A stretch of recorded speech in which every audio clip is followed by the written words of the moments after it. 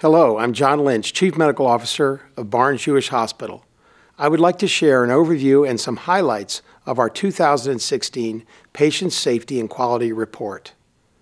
This past year, we solidified our E3 model of every patient, every person, every moment by identifying how it supports our mission of taking exceptional care of people.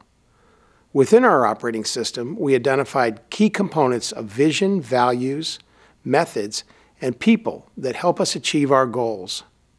This year, we work with our Washington University partners to implement an enhanced recovery after surgery program. The program was first implemented within colorectal and orthopedic services.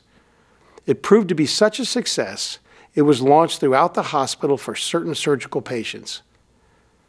The colorectal enhanced recovery after surgery video in this report provides details of the new protocols and reductions in surgical site infections.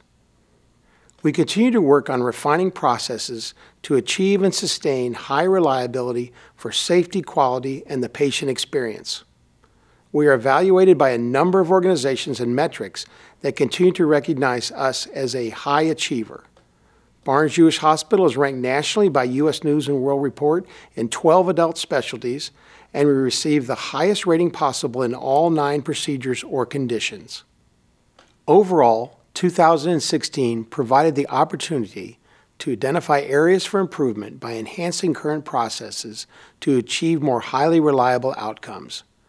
We are confident in our team's ability to reach our goals and sustain the successes that have made us national leaders in medicine. Our highly engaged leaders and team members strive to deliver the best possible outcome for every patient, every person, every moment.